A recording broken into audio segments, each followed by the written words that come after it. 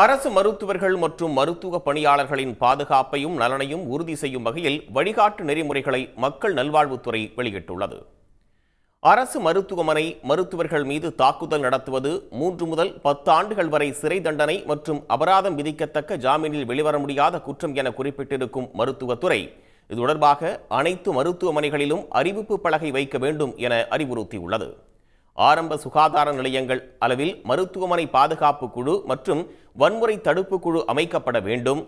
மருத்துவக் கல்லூரி மற்றும் அரசு மருத்துவமனையில் முதல்வரை தலைவராக கொண்டதாக இந்த குழு இருக்கும் என்றும் குறிப்பிட்டுள்ளது.